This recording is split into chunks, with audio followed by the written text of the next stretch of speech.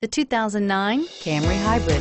Toyota Camry is an affordable midsize car, reliable and a great comfortable commuter car, and is priced below $15,000. Here are some of this vehicle's great options. Cruise control, remote power door locks, power windows.